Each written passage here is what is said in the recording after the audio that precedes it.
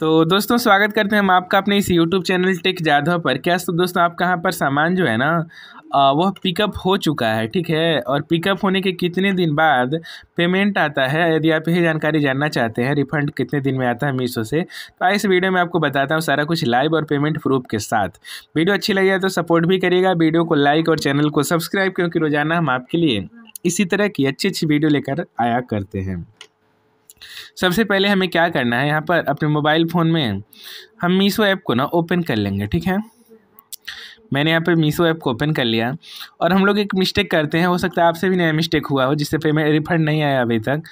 और आपको कोने पर यहाँ पर अकाउंट का ऑप्शन दिखेगा, इस पर क्लिक करना है अकाउंट पे। और my bank and UPI detail पे क्लिक करके, और यहाँ पे आप अपना खाता संख्या और एफएससी कोड डाल के ऐड कर लीजिएगा, क्योंकि ऐड नहीं होगा तो आखिर पैसा किसमें जाएगा किस खाते में? तो ऐड कर लीजिएगा, इसी में पैसे आएँगे। यहाँ पर ऐड कर लीजिएगा। ऐड करने के बाद आपको बता दें, मैं मैं ऑर्डर्स में जाता हूँ।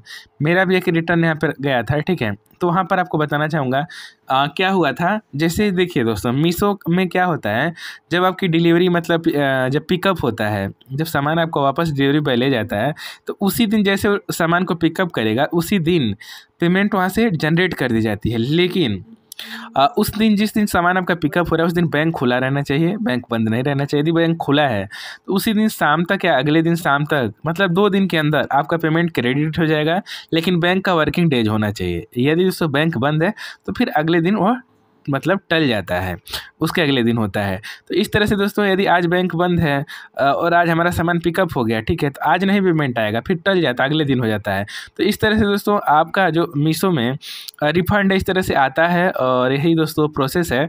बैंक वर्किंग डेज़ होना चाहिए, आपका रिफ़ंड आ जाएगा, कहीं कोई दिक्कत नहीं होगा, और पिकअप होने के चौबीस अड़तालीस घंटे बाद आपके खाते में आ जाता है। आप जब यहाँ पे अकाउंट में आएँगे अकाउंट वाले सेक्शन में तो यहाँ पर एक ऑप्शन होगा माई पेमेंट का माई पेमेंट पर क्लिक करेंगे तो आपका जैसे रिफंड आ जाएगा, यहाँ पर दिखाया देगा जैसे दो सौ संतानवे रुपये मेरा रिफंड आया, देख सकते हैं। तो इस तरह से आपका रिफंड पता चल जाएगा और यहाँ पे आप चेक भी कर पाएँगे। तो दोस्तों, हम मिलते हैं किसी और नई वीडियो में, नए अपडेट के साथ। तब तक के लिए दोस्तों, आप लोग अपना ख्याल रखिएगा। Bye bye